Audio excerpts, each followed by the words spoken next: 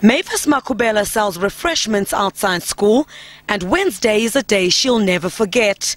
She was there during the attack. I was very scared. I'm traumatized because he used to buy fruit here. A parent who tried to assist the injured teen is traumatized. I had nightmares. I didn't sleep the whole night. Seeing my pictures, I was trying, struggling to breathe. It's alleged Muzi Tshabalala was stabbed by boys who did not attend the school. Earlier in the day while playing soccer, it's believed he kicked a ball which hit a girl in the stomach. Her friends were allegedly responsible for his death. A solitary rose near the spot where Muzi Tshabalala died. He was stabbed in the neck by a group of boys who arrived in a car, and this is where he fell.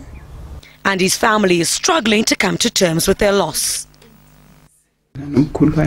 I raised him with his grandpa selling bananas to take him to school. He never disappointed. Authorities say that red flagged the school very same school has been identified as a problematic school. As the department, we've identified it as a problematic school.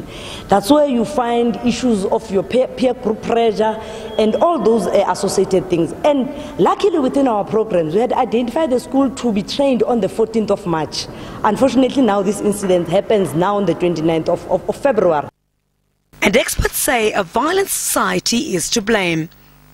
And the way society is we, we, are, we are teaching our children to be very violent.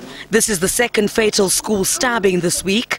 Funeral preparations are underway for 16-year-old Raylan Fortuin. He was stabbed to death at the Beauvallon Secondary School in Valhalla Park. Griselda Lewis, SABC News.